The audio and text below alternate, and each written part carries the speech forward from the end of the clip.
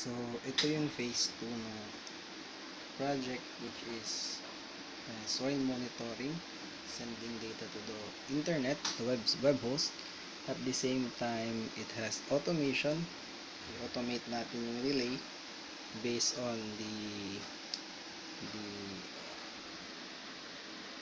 based on the reading from sensors and something like this um, pag uh, dry yung lupa ang mangyayari dapat naka-on yung relays at the same time kapag yung lupa is uh, wet mo-off dapat yung relay which is connected to a solenoid water valve and sprinkler. So yung additional features niya is that every 2 minutes or actually 1 and a half minute. Nagsisend ng data about the uh, status ng mga sensor status ng ng soil moisture sa internet which is handled by these two. Itong Arduino number 1 and GSM number 1 okay, which are powered by power bank. Tapos kapag uh, nagsisend sila sa internet actually it is handled by this command meron tayong dalawang code. So ito yung first code. This is sending data to the internet. Makita natin dyan. Okay. add data.php so may antay na natin. So that's data received. Okay so makikita natin dito yung value tulad ng last time. So 11.09pm dry daw lahat.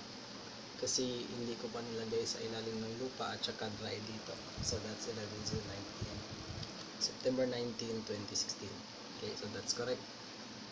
So it is sending every 2 minutes doon sa internet. So this particular mode dalawa this particular uh, partner or pair of devices focused on solely for the sending towards the web, web host. Okay.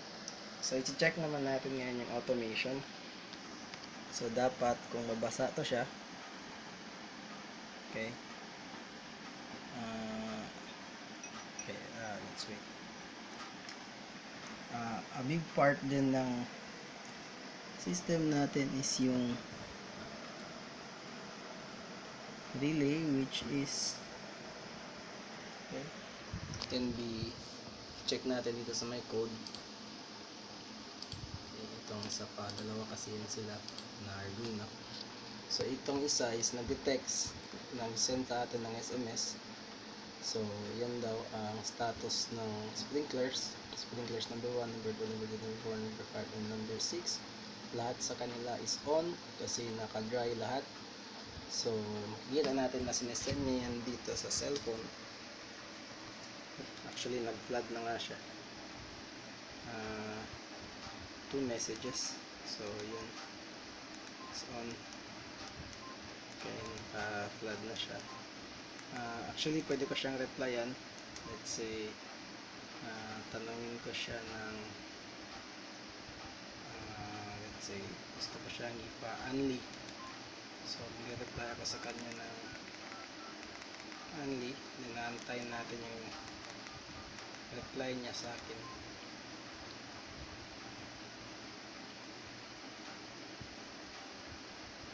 sana may load pa ako hina ng signal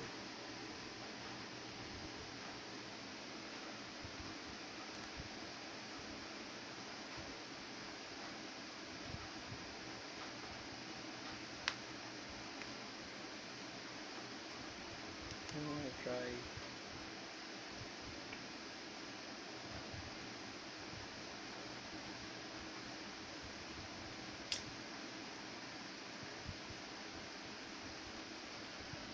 So, it's either wala akong load sa smart sim or naubos natin ang Unlitex. Okay?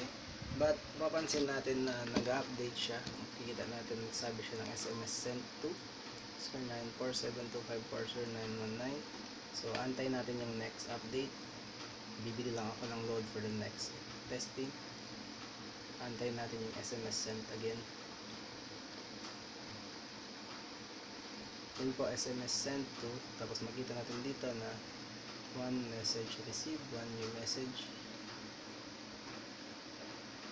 Okay so that's it. Makita natin dito yung status. Let's try na lagyan ng ilagay sa tubig itong isa. Then check natin kung nagbabago ba yung iti-text niya sa akin na ng message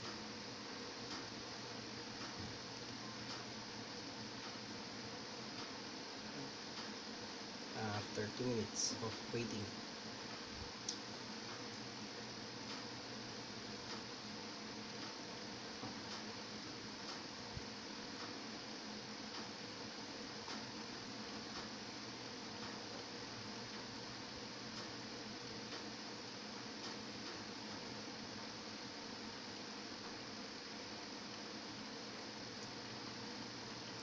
Tapang 2 minutes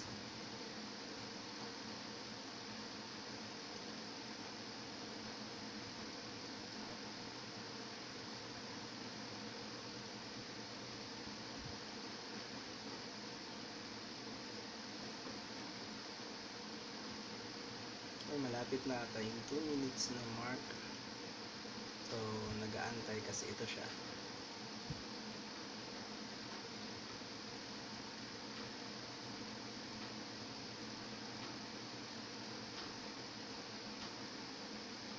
Okay, andun na. Okay, may makikita tayong changes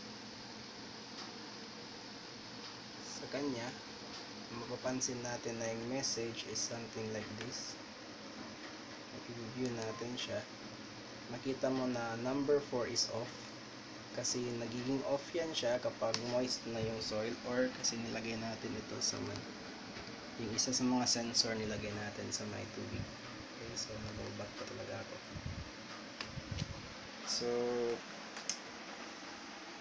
for now the second phase is done.